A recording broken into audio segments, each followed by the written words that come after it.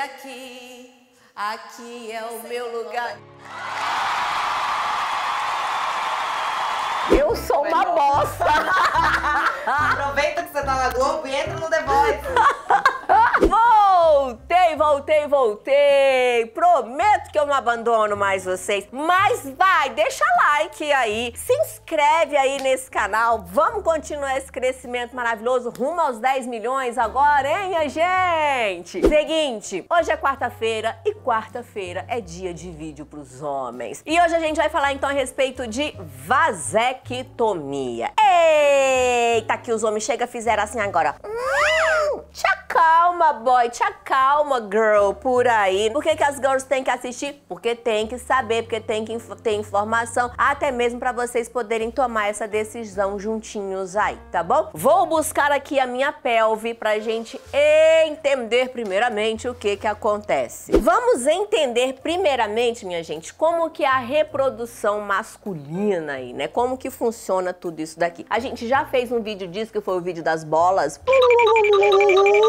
Mas vamos recapitular. Então aqui nós temos o saco escrotal. Dentro do saco escrotal nós temos o testículo e essa partezinha amarelinha que é o epidídimo, aonde os espermatozoides eles ficam armazenados aí para sua maturação. O testículo ele é responsável tanto pela produção de espermatozoide quanto pela produção de testosterona. Daqui eles vão subir por um caninho que é o canal deferente, que no caso é esse tubinho aqui. Sobe do testículo e aí vai passar tanto pela próstata quanto pela vesícula seminal, onde é produzida a maior parte do esperma, cerca de 90% do líquido espermático aí. Vou tirar aqui para vocês entenderem. Então o canal deferente ele vai vir aqui dos testículos e ele vai unir aqui assim por trás, ó, e aqui ele vai passar tanto pela vesícula seminal quanto pela próstata, onde é produzido 90% desse líquido seminal. Eu vou abrir só para ficar mais claro da gente entender. Esse canal aqui aqui é a bexiga masculina, que é o réptil masculino. Então, o duto deferente ele vem por aqui, passou pela vesícula seminal, passa pela próstata e aí vai para o pênis, por onde acontece o processo ejaculatório. O que que é então uma cirurgia de vasectomia? Nada mais é do que o médico ele vai abrir aqui essa pelezinha aqui e ele vai cortar esse canalzinho aqui, esse duto deferente. Então ele corta e amarra a pontinha de baixo e a pontinha de cima. Então ele vai fazer um cortezinho aqui, não aqui em cima, tá? É só pra gente poder entender aqui a explicação do canudinho aqui. Mas é aqui pertinho dos testículos mesmo. Por isso que a incisão ela é feita pelos testículos. Dúvidas frequentes a respeito de vasectomia. Kátia, será que vai correr o risco de eu ficar broxa, do meu peru não levantar mais? Tá tão pertinho, amor, presta atenção. Ele vai fazer um cortezinho pequenininho ali no testículo que pode ser feito. A cirurgia é tão simples, tão simples, que ela não precisa nem ser feita em hospital. Pode sim ser feita em hospital, mas ela pode ser feita na própria clínica do urologista. Quem faz a cirurgia é o médico urologista. Importante a gente saber disso. A anestesia é local. Tempo de cirurgia de 15 a 30 minutos. Cuidados depois. 48 horas de repouso aí após a cirurgia e 7 dias após a cirurgia sem fazer esforço físico. Então, se você é da galera da maromba, dá uma canceladinha na academia aí por apenas sete dias, não vai morrer. E a indicação também é de sete dias aí sem relação sexual, tá bom? Ninguém vai morrer por conta disso daí. Inclua-se punheta na relação sexual aí também. Tem nada de estimular a região ali por sete dias. Dá para voltar para casa dirigindo, tranquilo. Se você morar pertinho, fez a cirurgia, você mesmo vai para casa. Indicações do pós-cirúrgico: colocar uma bolsinha de gelo só para não criar nenhum tipo de hematoma. E tem que ficar quietinho porque a região testicular é uma região extremamente vascularizada. Então pode ser que na hora da movimentação estoure uma veiazinha, já que você fez uma microcirurgia ali. Então é só mais um cuidado. Pré-requisitos, gente. Qualquer homem acima de 25 anos e ou com dois filhos vivos podem pedir aí a cirurgia de vasectomia. O próprio SUS oferece isso daí para vocês. Só que é o seguinte, uma vez que você foi ao urologista e fez essa solicitação, os médicos encaminham você para uma equipe multidisciplinar. Sim, você vai ter uma acompanhamento com enfermeiro, com psicólogo, porque durante esses 60 dias vão ser apresentados aí para você, para o homem, para o casal, se o homem ele estar casado para o casal, todas as outras possibilidades de métodos anticonceptivos. Por quê? Porque a vasectomia, ela é um método permanente. Daqui a pouquinho a gente fala sobre esse permanente aí. Aí depois de 60 dias que você fez a solicitação aí, que você fez a primeira consulta, na verdade, que você passou por essa equipe multidisciplinar com acompanhamento do psicólogo, aí o médico vai te dar um termo de consentimento, você vai no cartório registrar, firma com isso daí. Se você estiver dentro de uma relação, a parceira tem que ir juntamente com você e assinar também, e somente após esse período aí é que o médico vai fazer a cirurgia, ok? O que eu já pesquisei bastante é que os médicos evitam muito fazer cirurgia em homens novos. E novos, gente, leia-se 25, 30, 35 anos de idade, até 40 anos de idade,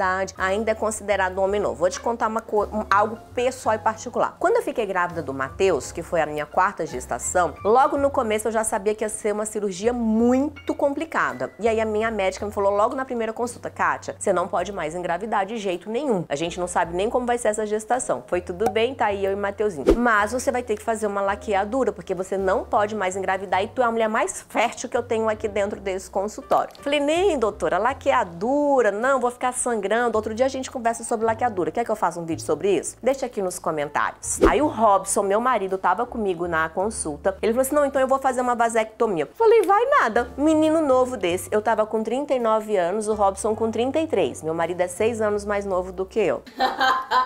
Adoro.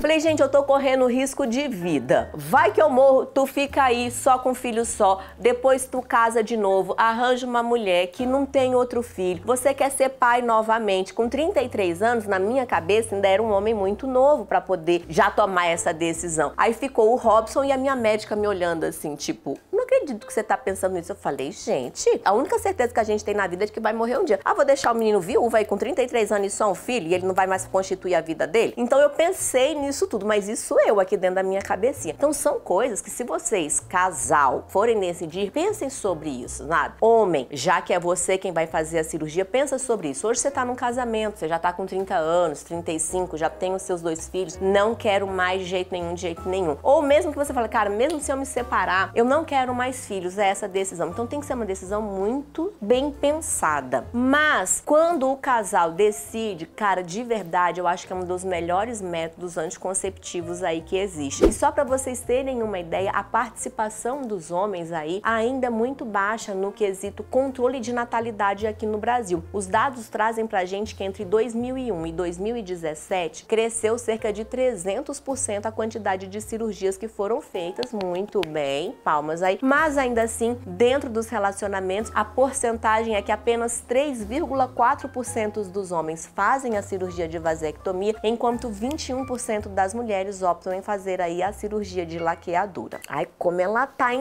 estudiosa hoje, gente! Lembra que eu falei da reversibilidade da cirurgia? Então é assim, fez a cirurgia, é 100%? Ah, então é só depois de 7 dias, 7 dias depois já pode transar e pronto, não vou mais ser filho? Não, não, não, não, não. Por quê? Porque ainda pode ficar espermatozoide aí dentro desse canal. Os médicos pedem que com 60 dias do pós-cirúrgico você vá fazer um espermograma. Aí tem muito homem que fala, ai, que exame chato. Ah, vamos combinar aqui, vocês batem punheta todo dia. A única diferença é que você vai botar dentro do potinho e entregar pra enfermeira ali, velho. Só essa diferença. Vamos simplificar, a gente faz uns exames Querido, muito pior do que você bater uma pro potinho ali, com, onde já se viu. Faz o espermograma com 60 dias e os médicos pedem novamente com 120 dias. E aí sim, se nesses dois resultados não tiver nenhum indício, nenhum vestígio de espermatozoide no líquido seminal, aí tá tranquilo, não vai ter mesmo. Filho, nunca mais na vida. Acontece que 0,2% das cirurgias pode ter uma recidiva. Lembra que cortou o canalzinho? Então, em 0,2% eles falam: "Não, amigo, eu quero te encontrar novamente". Puf. E ele pode ter sim uma reversão natural. É um a cada dois mil casos. Por isso a necessidade de fazer o espermograma depois para esse controle aí, tá bom? Kátia, e a cirurgia de reversão, dá para fazer ou não? Os médicos também dizem que quanto mais tempo se passar da cirurgia que você fez de vasectomia, mais difícil é. E outra, o plano de saúde não cobre a cirurgia de reversão, tem que internar, tem que tomar uma anestesia mais complicadinha e não é uma anestesia local. E é uma cirurgia que varia de duas a três horas para essa reconstituição aí. Então pensa direitinho sobre esse assunto, ok? Mais uma vez eu vou explicar, não interfere em nada na sua potência, na sua virilidade, na sua libido. Por quê? Porque a testosterona, ela vai continuar sendo produzida da mesma forma. Mas, Kátia, ela não vai passar pelo canal, ela nunca passou, louco, tá? O que passa pelo canal ali são os espermatozoides. A testosterona, ela cai na corrente sanguínea porque a região testicular, ela é uma região extremamente inervada. O que que acontece com os espermatozoides? Eu vou simplesmente parar de produzir espermatozoide, Kátia? Sim, o corpo da gente, ele é extremamente inteligente. Então, pode acontecer de você ter uma diminuição dessa produção de espermatozoide. Por isso que a cirurgia de reversão também não é tão segura assim. Então, mesmo que haja reconstituição do canal, tem que ver se vai haver a produção novamente aí de espermatozoide. E nos primeiros meses, o que que acontece? Esse espermatozoide, ele é absorvido naturalmente aí pelo organismo. Então, fica tranquilo. Você vai continuar gozando, você vai continuar ejaculando, teu pênis vai continuar ereto. Pode, em alguns casos, desenvolver uma questão de ejaculação precoce emocional. Emocional, tá? Quer falar, meu Deus, mexeu no meu pinto e agora não vai mais levantar. Não tem nada a ver uma coisa com a outra, tá bom? O que faz o pênis ficar ereto, quantidade de sangue, inervação e o médico não chega nem perto dessa parte aí. Então tá aí um vídeo mais elucidativo para esclarecer vocês, para trazer para vocês a possibilidade de sim, gente, se o casal optou por não ter mais filhos, é infinitamente mais prático, mais rápido, mais barato que o homem faça a cirurgia de vasectomia do que a mulher ter que fazer a cirurgia de laqueadura. E já sabe, se quiser que eu faça o vídeo de laqueadura, deixa aqui nos comentários. Ficou com mais alguma dúvida? Deixa aqui, a gente vai lá responder nos stories para você ou aqui mesmo, tá bom? Super beijo para vocês e até amanhã. Tchau, tchau.